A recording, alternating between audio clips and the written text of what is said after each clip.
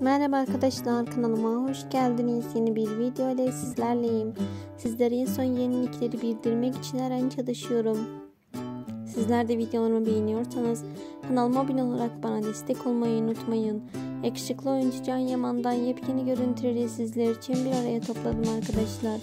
Can Yaman bildiğiniz gibi İtalya'da yaşıyor. İtalya'da e, yaşayan Can Yaman orada e, bazı işleri imza attı. İki tane dizide çekilecek olan Can Yaman Türkiye'ye e, dönmek gibi bir fikri yok galiba.